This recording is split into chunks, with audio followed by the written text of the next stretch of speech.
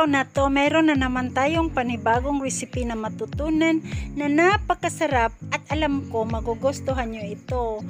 Napaka mura lang at napaka masustansya. Kaya lang, ipakita ko sa inyo pero bago nun, pakilike mo na. Merong share, paki-share na. At syempre, huwag kalimutan paki-subscribe. May bell sa gilid. Yan, pindutin na at hit na yung all sa itaas para ma-notify kayo sa lahat ng mga bagong videos na i-upload ko. Kaya mga ka-flavors, tara na, turuan ko na kayo. Ang una nating gawin ay kukuha tayo ng tatlong tasang kanin. Kung meron kayong lumang kanin, mas maganda. Eh, kung wala naman, hindi palamigin yung bagong kanin.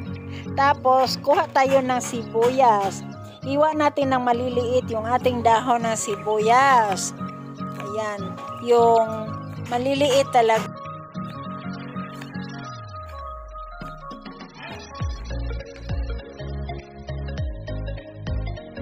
Tapos natin mahiwa, ilalagay na natin ito sa lalagyan. Tapos, kuha tayo ng isang itlog. Yan. Tapos, apat na cloves of garlic para babango yung ating tapos dalawang kutsarang soy sauce para pampaganda. Ang kutsarang ground pepper o durong pamintang durog at saka kalahating kutsaritang asin. Yan. Pang timpla. Prepare din natin ang mantika para sa ating pagluto at prepare natin ang kalahating lata ng meatloaf. Argentina, binili ko kasi masarap. Baka naman, Argentina, meron dyan. Yan. Tapos, ihiwa natin. Pagkatapos natin ihiwa ng ganito. Yan, ihiwa ng pabilog. Ganyan. Tapos, ganyan lang.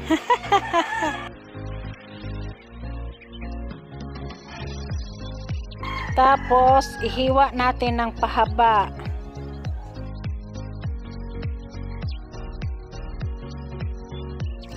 Sunod ay ihiwa natin into cubes.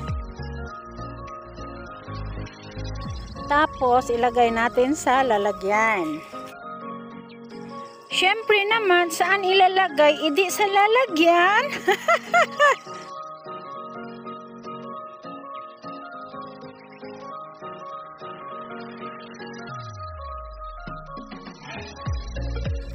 Ngayon, tapos na.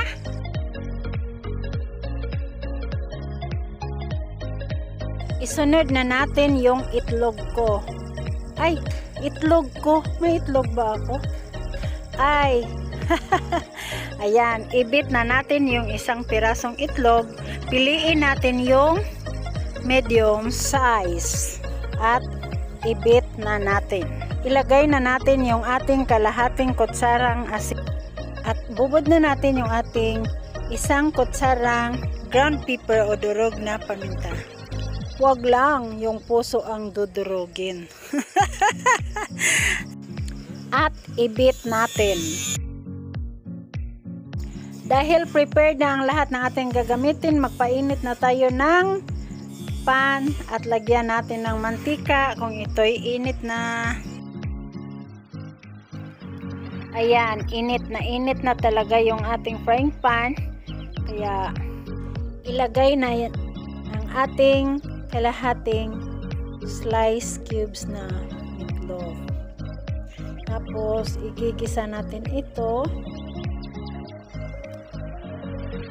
para isama natin sa ating lulutuin.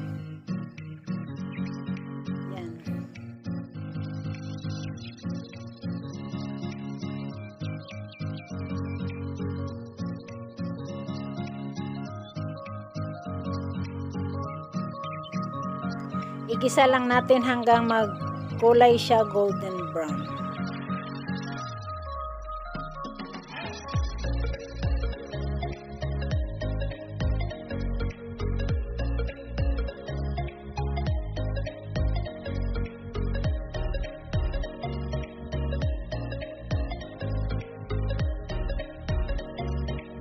Yan, malapit na mag golden brown. Hintayin lang natin na magka golden brown siya.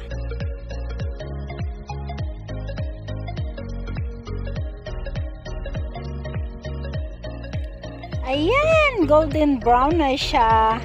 Kaya kuha tayo naglalagyan at isali natin ito sa lalagyan. Ngayon,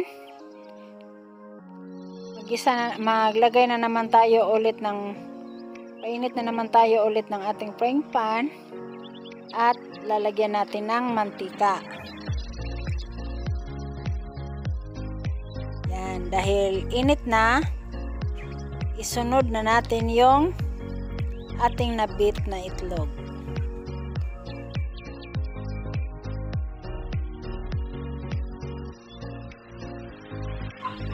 At hintayin natin na ang lahat ay maluluto. Ayan. Ganyan lang.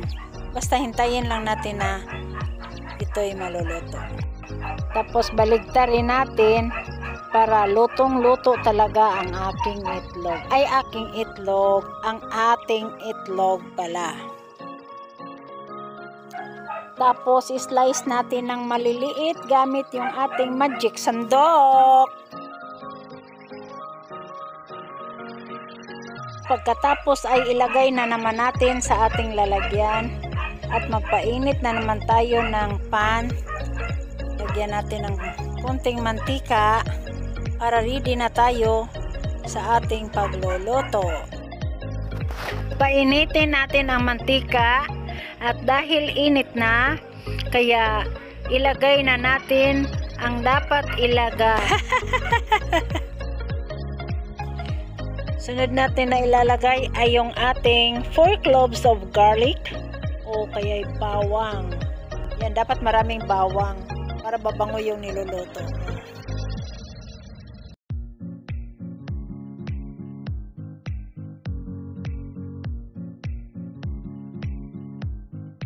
Hintayin natin na magka golden brown yung ating 4 cloves of garlic para babango. Dahil pampabango itong ating uh, bawang. Tapos isunod na natin itong ating dahon ng sibuyas.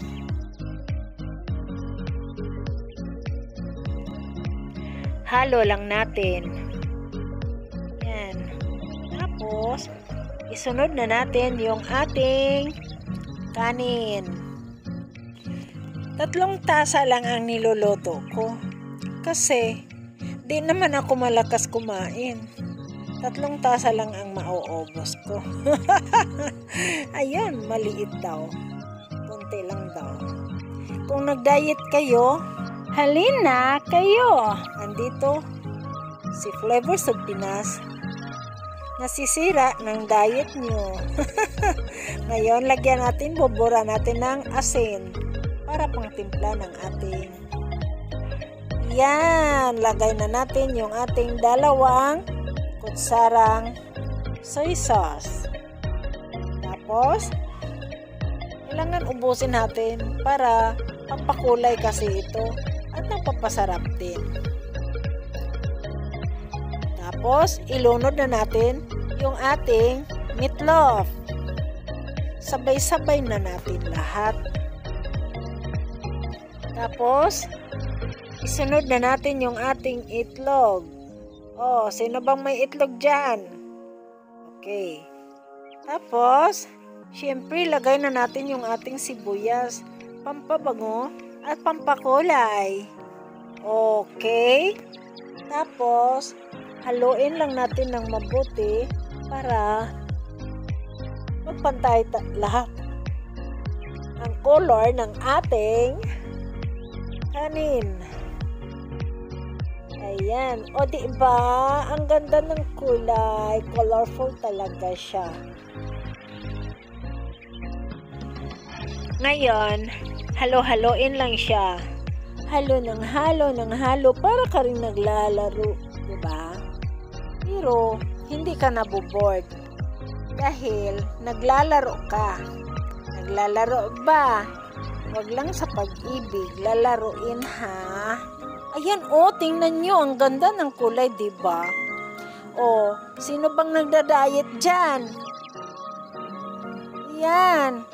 Tatlong tasa lang naman. Oh, tingnan nyo. Oh, di ba? Ang ganda, no? Oh, yan. Kaya, halina kung nagda-diet kayo. Dahil, sisirain ko ang diet nyo. Yun, di ba? Ngayon, ilagay natin sa tasa.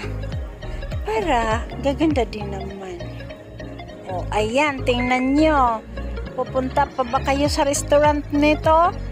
Ayan, o, see? Gawa na lang kayo.